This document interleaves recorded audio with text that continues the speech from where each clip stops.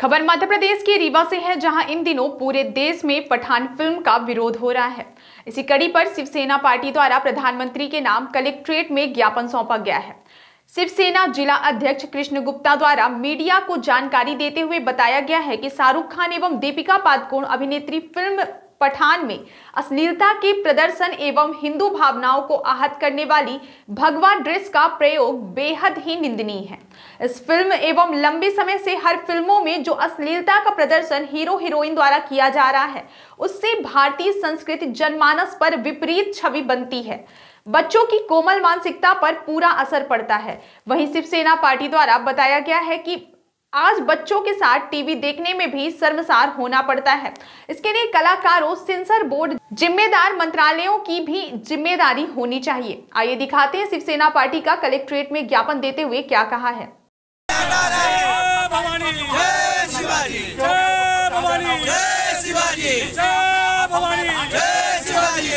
Pathan movie जो शाहरुख खान और दीपिका पादुकोण अभिनीत पिक्चर है जिसमें बेशर्म गाने में अश्लील गा दृश्यों का प्रदर्शन किया गया है और उसमें भगवा ड्रेस का प्रयोग किया गया है, जिससे हिंदू भारतीय कल्चर पे कठोराघात है और हिंदुओं के मानसिक भावनाओं को ठेस पहुंचाई गई है, जो कि गलत है।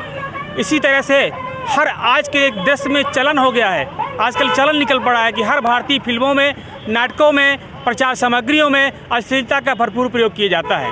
क्या ये आज यही काबिलियत का क्या पैमाना बचा है कि भारतीय जनमानस को आप अश्लीलता परोस के ही अपनी पिक्चरों को, अपने कार्यक्रमों को हिट कराएँगे? आप में क्या इतना नैतिकता का पतन हो गया है कि भारतीय जनमानस की विचारधाराओं को प्रभावित करेंगे आप? इससे हमें और आने वाली पीढ़ियों को भारी नुकसान होने की संभावना है। आज पूरे देश में जो भी गलत कृत्य देखने को मिल रहे हैं। छोटी छोटी नन्ही बच्चियों से लेकर वृद्ध माताएँ तक आज बलात्कार की शिकार हो रही है। कहीं ना कहीं इन भारतीय फ़िल्मों के हनन इन भारतीय फ़िल्मों में गलत उद्देश्य दृश्यों की प्रस्तुति के कारण से ये गलत विपरीत प्रभाव पड़ रहा है, जिससे आज ये घटनाएँ हो रही हैं। हम प्रधानमंत्री जी के नाम ज्ञापन में मांग करते हैं कि इस तरह की भारतीय फ़िल्मों में, नाटकों में, प्रचार सामग्रियों में जो उत्तेजक दृश्य दिखाई जा रहे हैं, इस पर तत्काल बैन लगाया जाए, कलाकारों पर इस तरह प्रतिबंध लगाया जाए और सेंसर बोर्ड पर इस पर तीव्र कार्रवाई की जाए तथा हमारे भारतीय मंत्रालय जिस पर जो ज़िम्मेदारी है, उनकी निश्चित ज़िम्मेदारी तय की जाए ताकि आने वाले समय में इस तरह से फ़िल्मों में उत्तेजक दृश्यों की जो भरमार है, उसको रोका जा सके और भारतीय जनमानस को बचाया जा सके। मैं श्री कृष्ण गुप्त एडवोकेट शिवसेना जिला प्रमुख एडवोकेट रीवा उद्धवगुट सर्व सुविधा युक्त नेशनल हॉस्पिटल समान तिराहा रीवा में। अब कैंसर का सफल उपचार और ऑपरेशन की सुविधा उपलब्ध है। हमारे यहाँ मिल रहा है आयुष्मान भारत निरामय योजना का लाभ। आयुष्मान जन आरोग्य योजना के तहत सभी प्रकार के मेडिक्लेम की सुविधा उपलब्ध है। हमारे यहाँ लेजर कैंसर अस्थि रोग एंडोस्कोपी, लेप्रोस्कोपी एवं प्रसूति रोग का अनुभवी चिकित्सकों के द्वारा उपचार किया जाता है। कैंसर के इलाज एवं ऑपरेशन अब रीवा के नेशनल अस्पताल में उपलब्ध है। नेशनल हॉस्पिटल के संचालक डॉक्टर अखिलेश पटेल के द्वारा उपलब्ध करवाई जा रही हैं सभी सुविधाएँ।